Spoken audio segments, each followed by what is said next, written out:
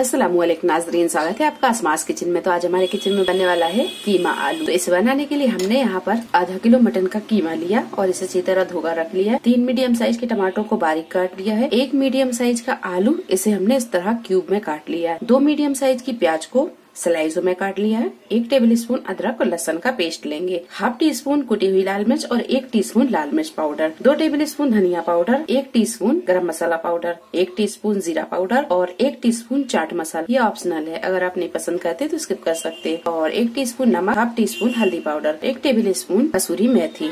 तो चलिए शुरू करते इसे बनाना। प्रेशर कुकर में एक बड़ा चम्मच तेल को हमने गर्म कर लिया है। पहले हम आलुओं को फ्राई करते हैं। आलूओं को हमने चार से पाँच मिनट फ्राई कर लिया है। अब इन्हें हम निकाल लेंगे।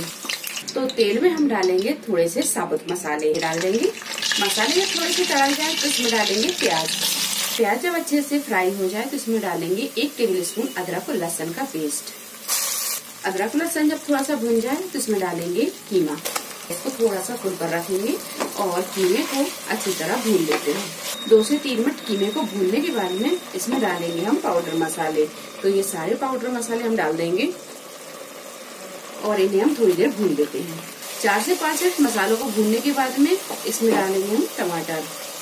टमाटर जब अच्छे से भुन जाए, तब इसमें हम डालेंगे पानी। पानी हम यहाँ आधा कप के करीब डाल रहे हैं।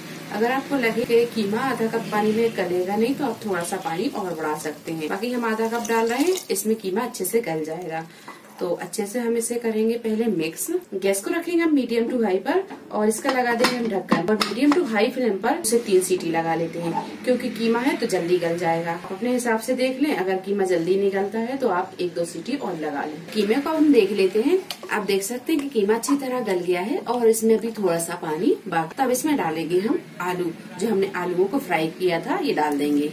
और इन्हें हम थोड़ी देर भून लेते हैं। हम थोड़ा ढाक कर पका लेंगे ताकि आलू अच्छे से गल जाए। वैसे आलू फ्राई है तो ये जल्दी से गल जाएँगे। तो इसे हम ढाक देते हैं। और थोड़ी थोड़ी देर में हम इसे देखते रहेंगे ताकि ये नीचे ना चिपके। गैस को हमने बिल्कुल मद्दा रखा और मध्य फ्लेम पर ढाक कर इसे 10 से 12 मिनट पका लिया है। तो आप यहाँ देख सकते हैं कि ये आलू भी अच्छी तरह गल गए हैं, ये देखिए। तो अब इसमें डालेंगे हम ये बारीक कटा हुआ हरा धनिया। तो लीजिए आलू और कीमा बनकर तैयार है। आप इसे पराठे पूरी के साथ खाएँ तो रेसिपी पसंद आई तो लाइक और शेयर करें। चैनल को सब्सक्राइब करें तो अगली एक नई रेसिपी के साथ फिर हाजिर होते हैं। तब तक अपना ख्याल रखें। अल्लाह हाफिज।